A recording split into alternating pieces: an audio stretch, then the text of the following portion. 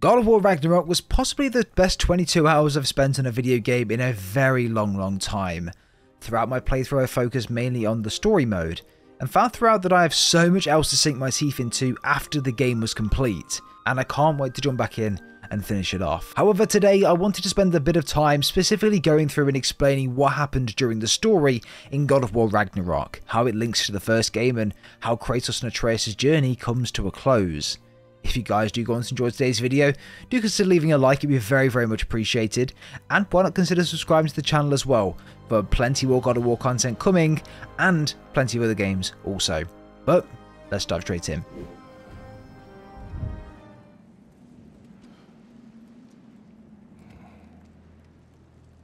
God of War Ragnarok begins with Kratos sitting slumped over a fire inside of a cave somewhere within Midgard. He's reminiscing over the bag which carried the ashes of his deceased wife Faye, still mourning her passing despite the events of the first game, with Ragnarok taking place a few years into the future from then. Atreus walks in with a deer that he'd recently caught hunched over his back, with both of them agreeing to go back home due to the weather becoming worse. As they load up the sled, Atreus pulls out an object of some sort that we're not too familiar with, trying to hide and keep it a secret from Kratos, However, as we're journeying home, Atreus spots an eagle in the distance, which suddenly transforms into a person. It was Freya. In the first game, the god before and killed Baldur was Freya's son. Freya cast a spell on Baldur to prevent him from feeling anything. The warmth, the cold, the touch of a woman, pain or anything, in order to just simply try and protect him. However, this only made Baldur hate Freya more, with Freya giving Baldur the option to kill her at the end of the game, but Kratos would not allow that to happen. From that point onwards, Freya would never forgive Kratos, not just for denying her of death, but for the grief it caused her in knowing that the man that killed her son is still out there. Freya has been hunting Kratos specifically for a long time, and Kratos simply refused to fight back due to the help that she gave us in the first game, like saving Atreus' life. We eventually escape the wrath of Freya and return to our home in Midgard. Atreus mentions that there's another wolf, Fenrir that was severely sick in that it was Atreus' first wolf. Kratos and Atreus essentially captured and saved the wolves in their possession from a camp of rebels that were planning on eating them a while back. However, when Atreus gets to Fenrir, it was apparent that he was very near the end, and Atreus finally has to let him go. Fenrir died in Atreus' arms. However, once it did happen, a blue orb floated out of Fenrir's body, Kratos catches it with one eye but says nothing more on the matter. Kratos walks inside the cabin whilst Atreus finds a place to bury Fenrir, when Atreus doesn't come back. Kratos and Mimir go searching for Atreus when suddenly they're attacked by a bear. It turns out that Atreus has the power to turn into different animals depending on his feelings. Anger and rage was the feeling at the time, so that's what he turned into. Completely uncontrollable at the moment. The three of them return back to the cabin to rest, when suddenly a storm hits.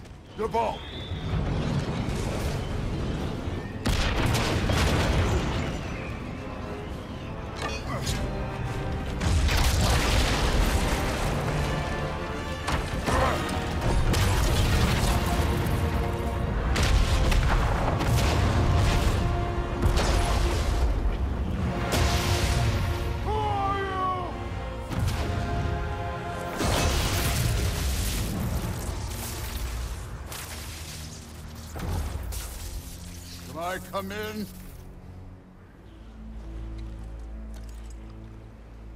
I have meat. You would not find me good company. No. I'm sure we'll find lots to talk about. They rushed to the front door and when opened, are greeted with a cloaked figure standing there. Thor. It's really good to know that the Avengers were lore accurate when depicting this image of Thor. Thor asks Kratos if he can come in for a chat. Kratos being very, very wary of this. However, he eventually says okay, and Thor walks into the cabin and sits down, placing his hammer on the table. And just to show dominance, Kratos does the same with his axe. They both started talking to begin with, both very tense about the situation, with, of course, Kratos killing Magni and Atreus killing Modi in the first game, both sons of Thor. However, as the situation begins to get more tense, In walks Odin. They started by reiterating that they do not wish for war, that they will leave them both alone if they swear to not continue to look for the god Tyr. Odin tries to put it down as Tyr being dead to try and stop Atreus from looking. However, Atreus was secretly searching for Tyr without Kratos knowing, due to his connection with the giants and his desire to find out more about the shrine that he found in Jotunheim. Atreus wants the giants to repopulate Jotunheim again, and he thinks Tyr could help with this, help find out more about himself, and for Tyr to lead the army of the giants against Odin and take him down for good. Isn't it? So what do you say?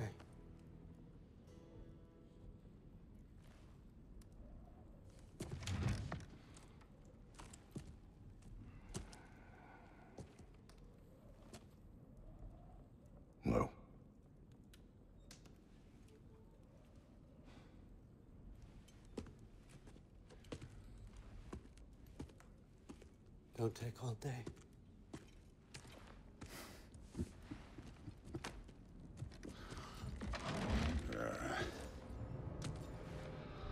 About time. Kratos declines this offer from Odin, and Thor strikes him with his hammer, and they fight off into the distance. However, during this time, Odin decided to stick around and speak with Atreus, telling him more of how he could help him get the answers that he's looking for, and that if he ever wanted help finding them, to meet Odin in Asgard. Atreus is a young kid that wants nothing more than to find out his overall meaning in life, and more around his shrine and the prophecy, so of course this is going to intrigue him. However, now that Odin and Thor know of their home's location, it is not safe there anymore. Sindri and Brok invite them into their home and stay low for a while until they can figure out what the next steps are. At this time though, Atreus brings up the meaning behind the artifact that he was holding at the beginning of the game. He found it in one of the shrines, and Mimir mentioned that it was the craftsmanship of the giants. This shrine revealed that Tyr, the Midgardian god of war and the god who helped the giants, was imprisoned somewhere. However, the location was not revealed within the shrine. Brok and Sindri inform us of a dwarf based in Svartalfheim, a dwarf named Durlin. Durlin was at the forefront of a rebellion against Odin, with Faye helping to lead that rebellion. We travel to the realms of Svartalfheim and meet with Durlin, who could immediately recognize the blade on Kratos' back, believing that he and Atreus had killed Faye, knowing that it was Faye's axe, and not knowing that she was Kratos' wife. In knowing this, Durlin presents Kratos and Atreus with a fine, in which bewilds the two at the time. However, when exiting the house, Atreus checks this fine and finds that it is in fact a map of a nearby mine. The mine in which Tyr could be held captive in by Odin. Kratos, Atreus, and Mimir make their way up through the mountain and into the mine, breaching through four green doors when finally they find what they're looking for Tyr. Tyr was weak, fragile, and not the god that he once was. Not believing in violence and not wanting any part of what they're preaching to him. He was kept captive by Odin for an extremely long time, being tortured for his acts and not revealing the path to Jotunheim. So, you can see why he was a bit skeptical. Kratos grabs Tyr and gives him the talking to that is needed at the time, saying that we've come all of this way for you, and my son believes in you. So in doing so, Tyr returns with us to Brok and Sindri's home. However, Tyr insists that he would prefer to sleep inside a broom closet in the house, saying that he's used to the pitch black dark and wants to be there and doesn't want to take up any more space than what's needed. This seems really odd, you know, with Tyr being a god, but more on this later. In this section of the game, we take control of Atreus for the first time, which I thought was really, really cool. The next step was very blurred, with no one really knowing what else to do or where to go from here. Atreus takes Sindri to Midgard in order to try and speak to Jormungandr, the World Serpent. This was to try and find out more around the meaning of Loki, and where they need to go next. Atreus summons the World Serpent from under the thick layer of ice, in which he responds with Ironwood. Not knowing what this meant at the time, the two were very frustrated and thought that they'd wasted a trip there. However, Atreus decided to try his luck speaking with Freya.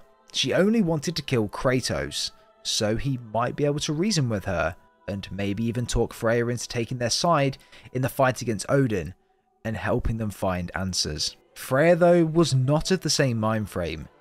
She listened to what Atreus had to say, even at times looking pretty shocked, but resulting in the same resolve. Leave this place. Go and do not return. Go before I change my mind.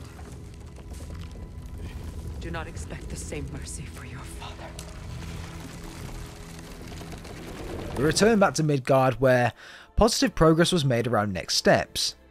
There was a god named Groa in the realm of Alfheim, which would potentially provide us more information on the prophecy and what we needed to do next. The shrine revealed to us that the prophecy that Odin was working from was in fact wrong, and that Odin is working off a lie. Groa had a vision when meditating one time for weeks on end. She was trying to find her lost husband, Freyr, Freya's brother. Their parents were very creative when choosing their names. It was during this vision that Groa had the vision of Ragnarok. Word of the vision reached Odin, and Odin demanded a private retelling of the vision. Odin didn't like what he heard relating to Ragnarok and he killed Groa. It was at this point that we see Ironwood mentioned there. This was the same phrase that Jormungandr mentioned to us earlier. Ironwood is a mythical sanctuary for the giants. However, Ironwood has never been found, and it's not known to anyone, even Mimir, stating that it's just not a real place. We also get a glimpse of the champion of the war, which Atreus believes is him, eventually showing Ragnarok a battle between each of the nine realms, all gods, and all beings. However, it then moves to show someone leading the forces against Odin. However, Tyr does not want war, and finds it hard to come to terms with that he could be again the god of war. However, suddenly the vision shifts, and no one has seen this side of the prophecy before. The giant of Ragnarok destroys Asgard, leaving the other eight realms to thrive, and Odin to die. Groa lied to Odin. The vision was false, and the prophecy that Odin's searching for is incorrect. They all return back to Brok and Sindri's house where Atreus goes into his room to sleep. However, before closing his eyes, he pulls out the giant artifact from the beginning of the game, closes his eyes and says Ironwood. Atreus falls asleep, but suddenly wakes up somewhere extremely unfamiliar. When here he encounters all of his older memories from the first game, going through the phase of his resentment between him and his father, his pure cockiness as well. I mean, just knowing we're gods makes me feel so much stronger. Where am I? It's all you ever talk about, over and over. Do something about it or shut up already. Little people's little We're problems. sick of hearing about little people's little problems. Memories. And not nice ones. You broke the gate. That was our only way to Jotunheim. What do you want? Let's go, Truma. I don't understand. Whatever. Whatever. Whatever. Whatever. Whatever. Whatever. Whatever. Whatever. Hey, Whatever. don't run off. When suddenly, he falls through the ground, and moments later finds himself in a place surrounded by wildlife. Somewhere that he's never been before. He's escorted to a location by a pack of wolves when he meets Angrboda. Angrboda's prophecy is to tell Atreus of his prophecy. So she takes him back to her home and shows him the rest of the shrine that was destroyed in the Jotunheim temple. However, it wasn't what he was expecting, nor what Atreus wanted. The prophecy shows him holding his father in his arms, with Kratos ending up dead at the hands of Thor, and Odin, with Loki eventually going to work for Odin. Atreus snaps and turns into a wolf, trying to channel his rage and destroy the shrine. The missing piece of the shrine in the Jotunheim Tower did not show this final part, the death of his father and Atreus going to work with Odin. Angrboda had one more thing to show Atreus though before he left. She took Atreus to the location in Jotunheim where we could see the temple that we travelled to at the end of the first game. However, she explained that Jotunheim is in fact not full of bodies of dead giants like we thought it probably was at the end of the first game. As you can see on screen right now, it looks very much alike. But rocks making you believe that it is. Jotunheim is full of rocks to make you believe that it's full of giants' bodies that just lay dormant and dead. This is so that if Odin ever wants to come to Jotunheim, that he would take a look and believe that all the giants here are in fact dead, but really, it's just rocks, without giving him additional reasons to go further and investigate. It's pretty sad to be honest with the people of Jotunheim. We reach one of the rocks and Angrboda hands us a bag.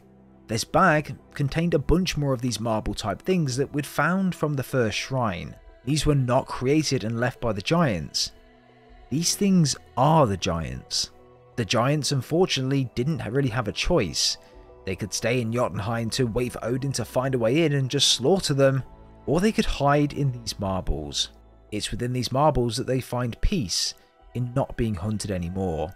Their souls are within these marbles and their bodies are just left to rot and die away. These souls can be passed into creatures or bodies with no souls within, like we see later into the game when one of the souls were passed into a snake. This was huge power given to Atreus, and he didn't want the responsibility to do that.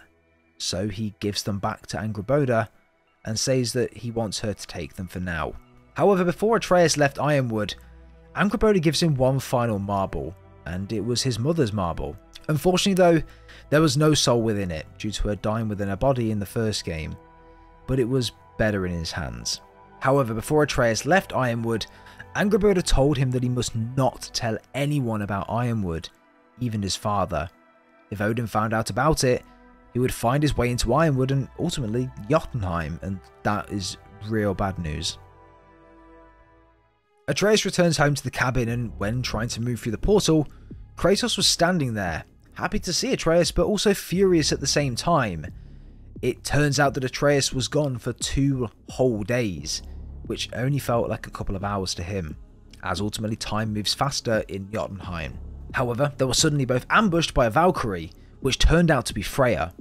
Kratos didn't fight back once he found out who it was, with Atreus even turning into a bear just as Freya was about to kill Kratos. However, Kratos jumped into action, saving Freya from being mauled by Atreus as a bear. Freya turned around in disbelief that Kratos would save her like that, essentially risking his life to do so. Freya decided instead to use Kratos to help free herself, but instead of killing Kratos, she decided that he was more used to her alive at this time, using him to free herself from the spell that Odin cast upon her, binding her to Midgard. Freya and Odin were once married a long time ago, and to prevent her from travelling to other realms, he cast a spell on her. And that was what we'd seen in the very first game. She was unable to come with us to Alfheim due to the spell that was binding her, which was the reason why she was ripped away. We take a trip to Valheim, progress through and free Freya from the spell binding her to Midgard, and upon returning to camp, she's finally reunited with her brother, Freyr. Freyr left when he'd found out that 1. Odin had killed his wife Groa, and 2. found out that Freya was marrying him. He never went searching for her because he thought that she was dead. But really she was just bound to Midgard this whole time, so could never move between realms. However, they both forged a plan to work together to take down Odin. We return back to the cabin and Kratos tries his best to get out of Atreus where he was and where he's been.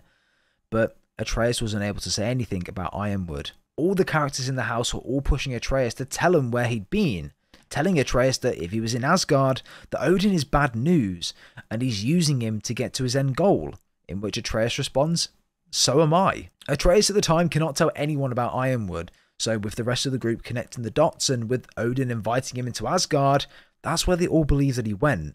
Atreus angers at the accusations and turns himself into a bear, going through the portal and landing into Midgard. However, as he's walking through, we can hear the sound of ravens in the distance. He eventually finds Odin's personal raven and says he's ready. Take me to Odin.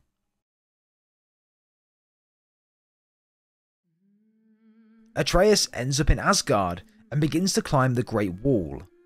At the top, he's greeted by someone named Heimdall. Heimdall didn't believe Atreus was here for to see Odin for a second, and even almost dropped him to his death at the very top of the wall. However, he gave him the benefit of the doubt and took him to Odin's lodge. Heimdall began toying with Atreus. Heimdall cannot be touched by anyone bearing in mind. He can essentially see your every move even before you can see your move, until Thor turns up. Heimdall stands down, however, proceeds to tell Odin that he believes the boy is fake. He believes he's there to betray him. In which Odin replies, Of course he is. He has no reason to trust me yet. Odin shows us around Asgard, the camp, the training of the soldiers, and even how he has an unlimited army. A soldier will go to Valhalla when he dies in battle, then drop straight back down into Asgard, where Odin recruits them back to his army, resulting in an endless cycle of troops. Odin gives Atreus his own room, which used to belong to Magni, the son of Thor, which Kratos killed in the first game, so it's pretty bittersweet to be honest. This is where we meet Thrud, Magni and Modi's sister, the daughter of Thor, and also Sif, Thor's wife.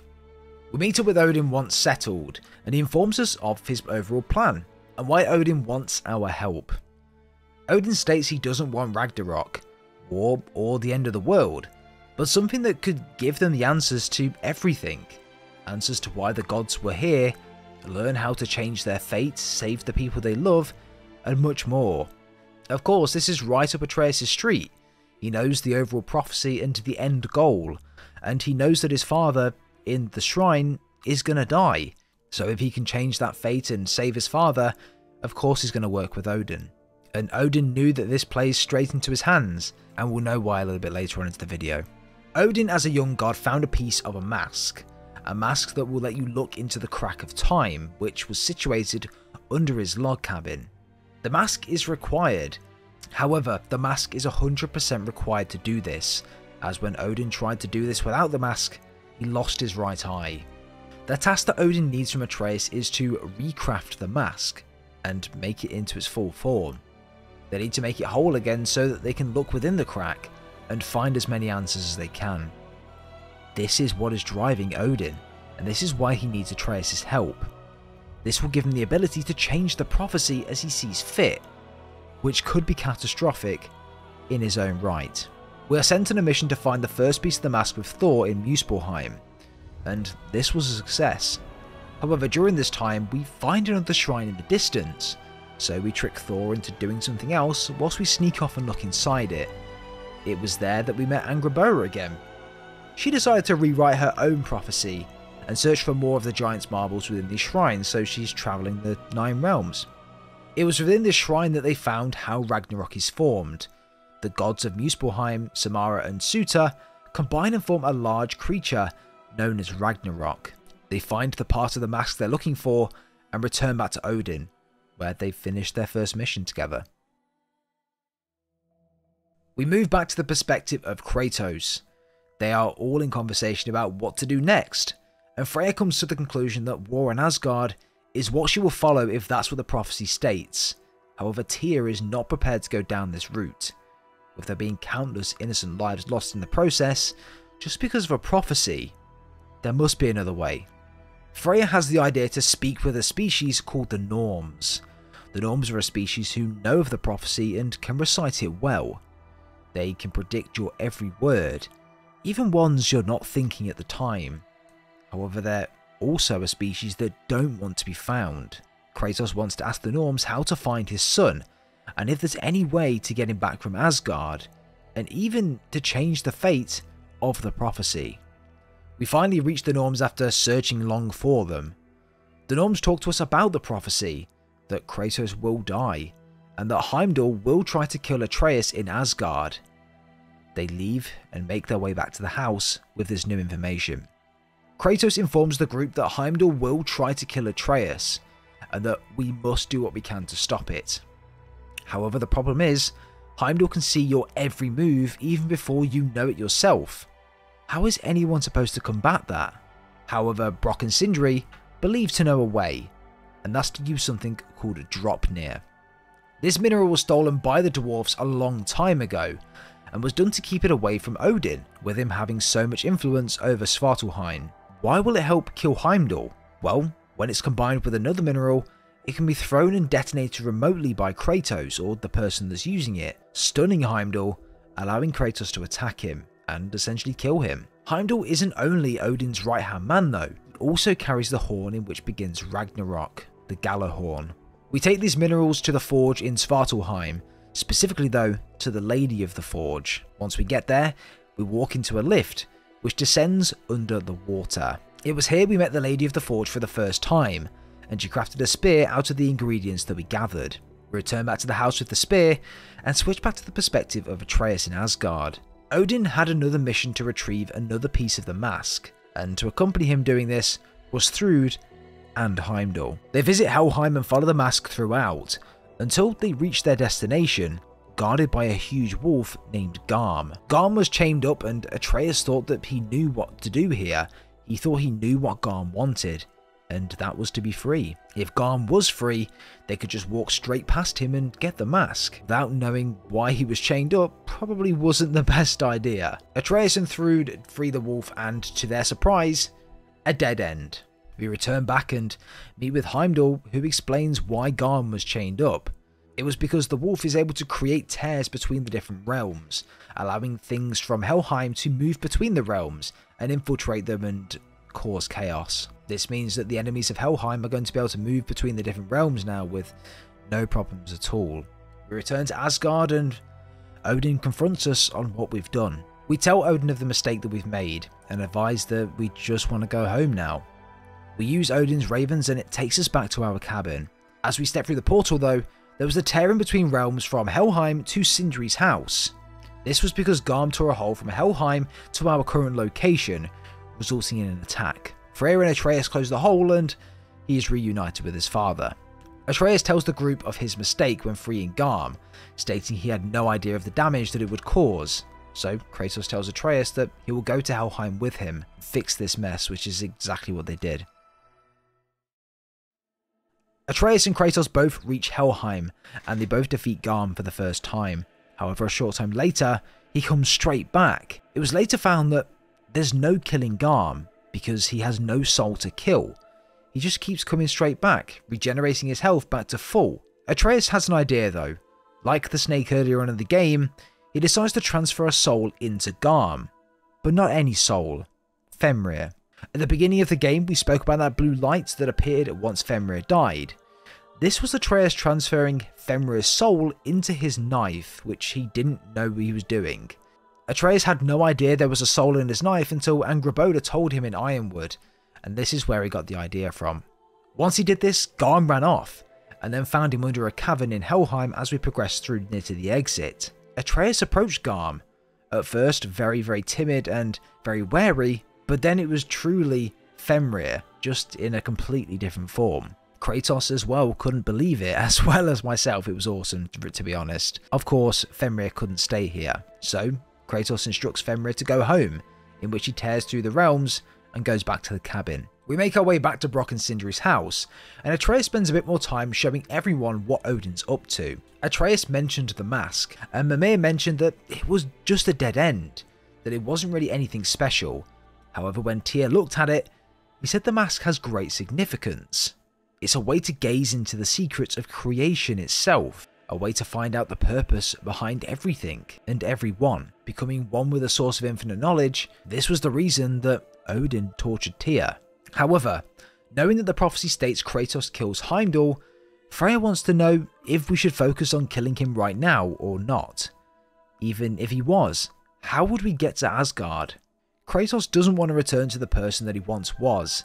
He does not want to be a killer of gods anymore, and he tries his best to rewrite fate by seeking alternative routes to killing Heimdall or just not killing him at all. Freya decides that if we don't take the fight to Odin, that she's going to return to Vanaheim in the meantime to help her brother prepare for the battle against Odin, should he ever return there. Kratos and Atreus also decide to follow in help in any way that they can. However, just like fate, there's Heimdall in Vanaheim. Kratos and Heimdall fight, utilizing the spear that was created by Brok and Sindri, and it worked.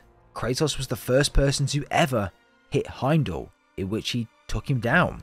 Despite defeating Heimdall though, Kratos didn't want to be that god killer anymore, and decided to spare Heimdall's life. However, Heimdall found it insulting that Kratos didn't finish the job, and fought back, and eventually left Kratos with no choice but to kill him on the battlefield. We return back to Brok and Sindri's home where we discuss what happens next. Now that Heimdall is dead, it's only a matter of time before Asgard finds out. So, Atreus uses this time to revisit Odin and find the final piece of the mask. Odin requested that we go with Thor on this journey, however, we had to fetch him first. Thor was drunk and left in a bar. Thor was essentially an alcoholic and passed the time by drinking away his sorrows of his childhood and his life right now. So we tried to get him out of the bar, and in doing so, we started a bar brawl. He eventually gets out and comes with us, even if he was being sick along the way.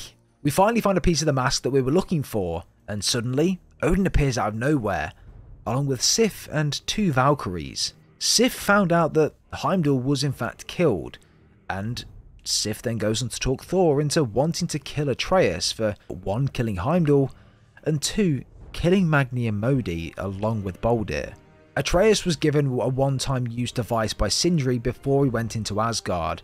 If he wanted to get out and go back to the location of the home at any given time, he just throws it on the floor as hard as possible.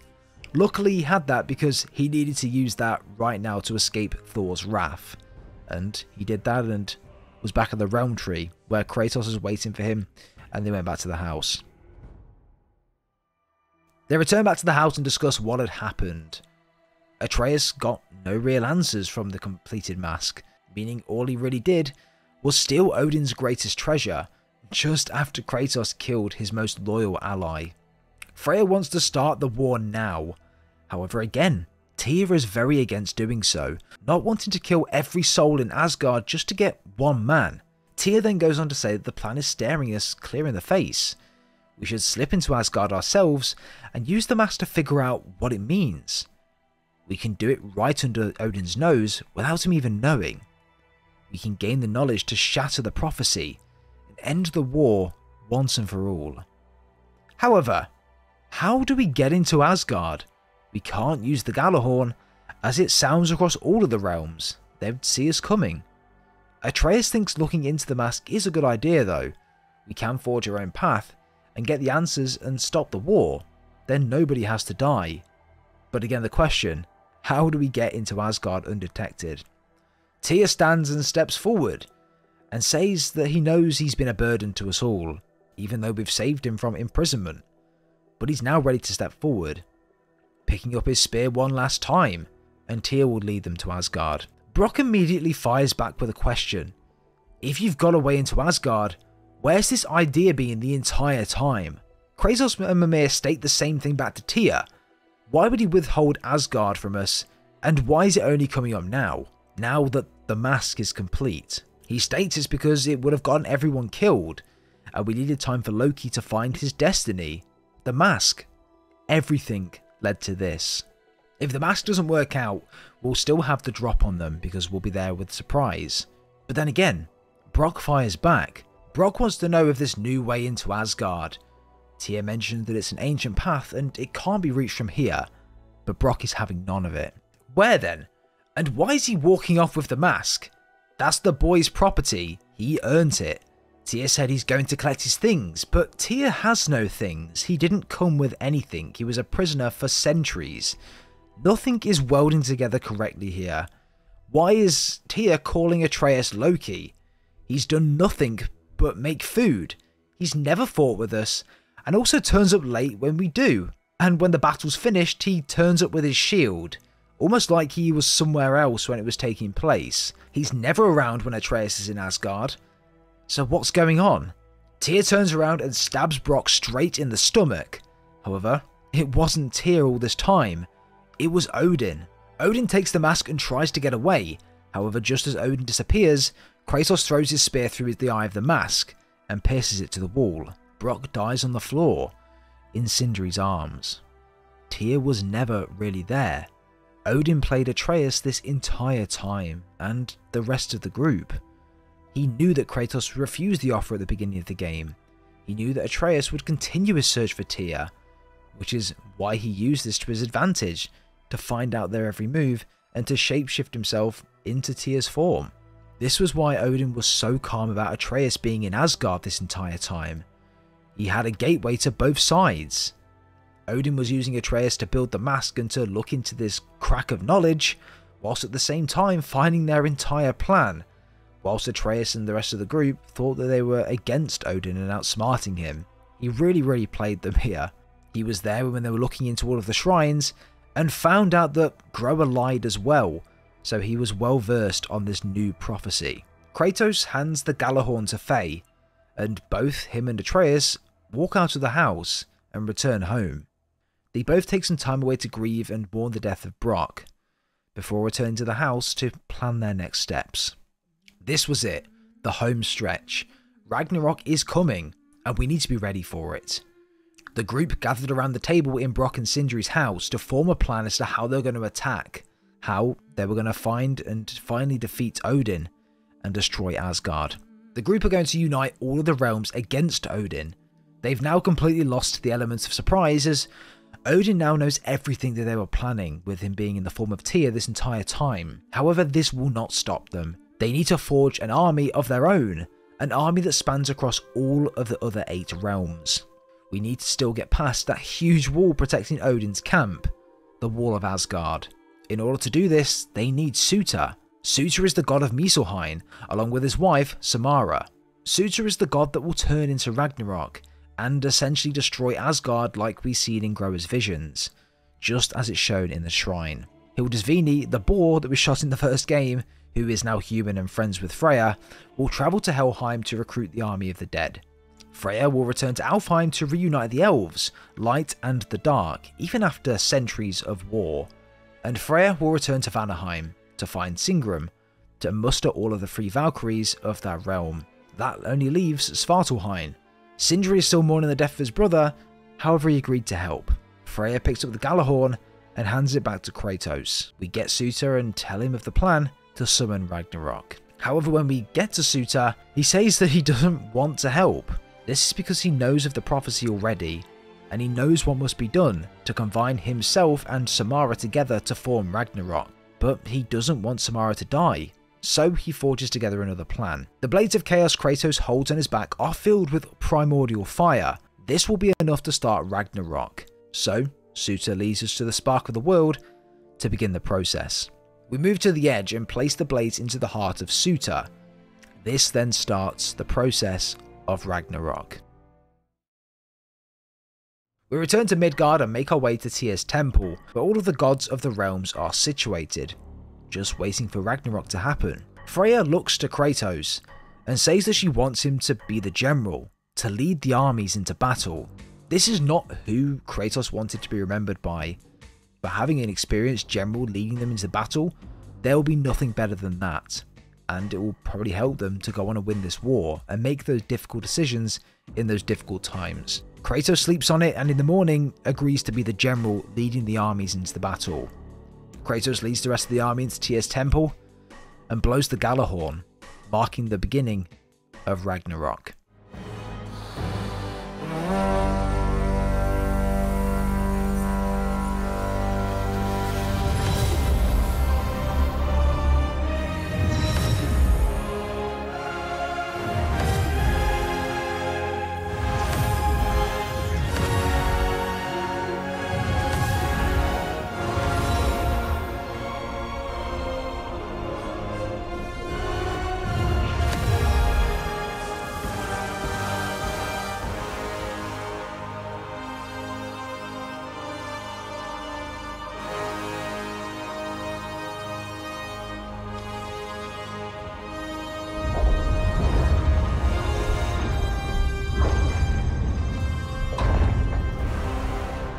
Ready yourselves.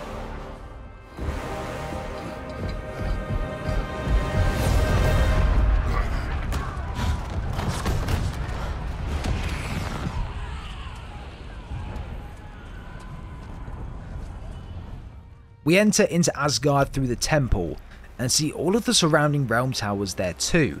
This scene was so cool, it literally reminds me of that ending Avengers Endgame scene. It was just so sick. You see the giant serpent in the background, you see Ragnarok in there as well, all the dragons flying around, all the different enemy types you fought throughout the first game, the second game. It was just, this honestly was one of the best fight scenes I've played in a long time for gaming, so well done, team. However, it was found that Odin has a series of war machines set up and ready, waiting to destroy any towers that will show up, trying to shut out Ragnarok. This was the first objective when we got there, destroy the war machines. We get to the Svartalfheim tower, and there's no sign of the dwarfs anywhere. Sindri comes through though, however, and says that no more dwarfs are dying for this. Odin forced them to build these war machines, and he knows a way to take them down on his own.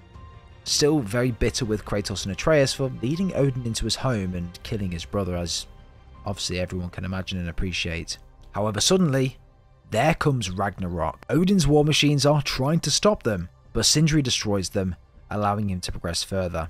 However, in doing so, we see a bunch of Midgardians that Odin took in.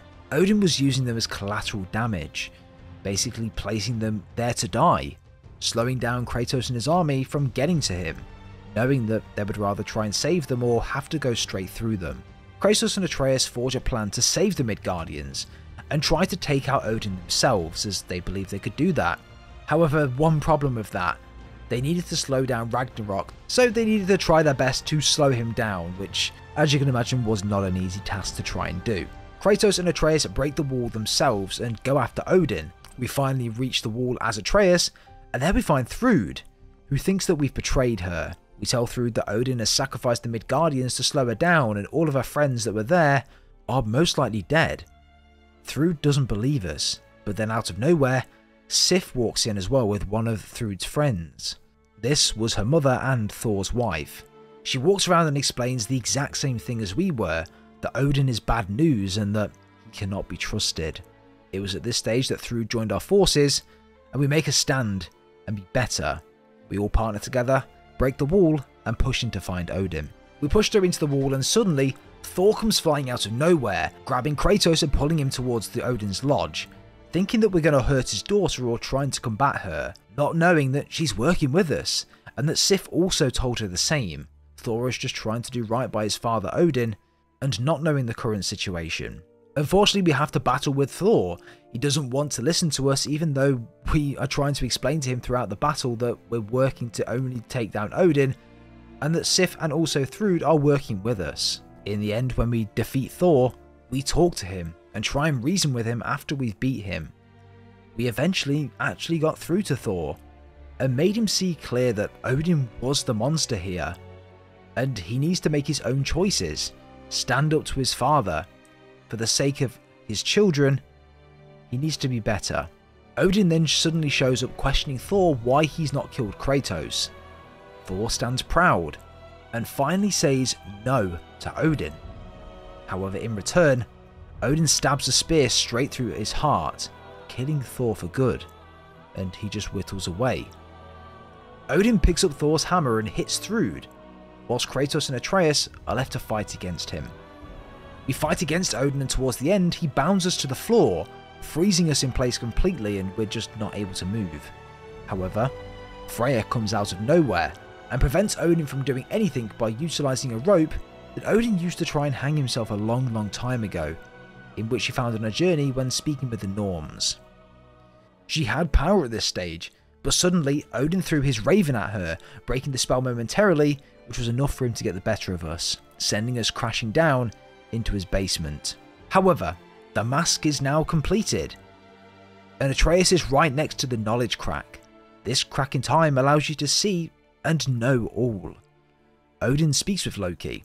No more fighting, he says. This is your moment, Loki. This is your purpose, your prophecy.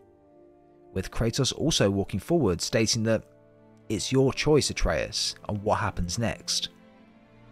Loki breaks the mask into two pieces, with him falling into the crack and lost to the world. Odin rages at this and attacks us for the second time. We fortunately get the better of Odin, in which Atreus tries to reason with him. Odin says that the crack was the way to make the Nine Realms better, a way to help people. But no, Atreus went back and said that it was all about you, never about the good of the people, saying that he had no choice but to kill Thor. There was no other option. Atreus said that you have to stop, you can choose to be better. With Odin simply responding, No, I can't. I will never stop. He has to know what happens next. There was clearly no saving Odin here, so Atreus does something that, to be honest, we probably didn't expect. Atreus takes the soul out of Odin and places it into a marble that was created and housed the giants. There will be no afterlife for Odin, there will be no Valhalla because he died in battle. He will be placed in this marble for the rest of time. However, out of nowhere, Sindri takes the marble and smashes it. That's for killing his brother. Ragnarok finally reaches them. They need to find a way out of there immediately, else they're of course going to die and be destroyed along with the rest of Asgard. However, suddenly, there comes Fenrir and Angrboda to save the day. Freya decides to stay and hold off Ragnarok, whilst the others escape. However, Atreus was late to entering the portal as well, concussing him massively and resulting in him to be unconscious for a long period of time. As we can see, his father's rushing him to some care. We wake up in a Midgardian temple, and as we move through, we come across all of the people that we'd fought alongside in our journey, thanking them, and eventually getting to Angrboda and Fenrir. She tells us that she has something to show us, along with something to show Kratos also. We're led to the very top of the mountain range where Angrboda displays another shrine. Kratos walks forward to it, and then opens it. It turns out that Faye destroyed the final piece of the shrine in Jotunheim. She couldn't live with the death of the Kratos, and to have her boy move and work with Odin. So she did something completely unheard of, and went against her people and destroyed that section of Atreus' shrine, and changed the prophecy herself. The prophecy was Ragnarok, however, they allowed Kratos and Atreus to forge their own path to protect them both. So rather than Kratos dying to Thor and Atreus going to work with Odin, the path was changed so that Thor died to Odin and that we destroyed Odin. However, of course, this was secretly done because the Norns were still following the older prophecy. So, Faye really saved the day here and saved Kratos and also Atreus. However, at the end of the game, Atreus tells Kratos that there are other giants out there in the shrines of different realms. He needs to go out there, find them, and free them, and he needs to do this alone. Kratos gives Atreus his blessing, and he takes a new step into his journey of finding the giants and bringing them back to Jotunheim.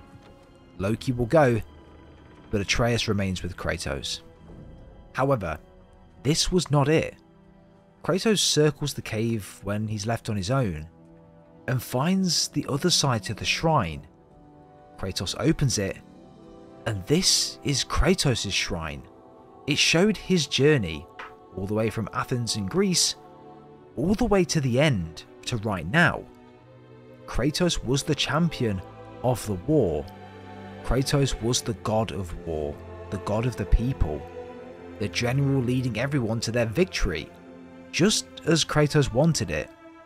He's no longer that god of war, that killer of gods that he was once known by, but now he's the god of the people, just like Tyr was to the giants. That is him to the Midgardians. That is him to the other realms. A path that he never imagined would be possible.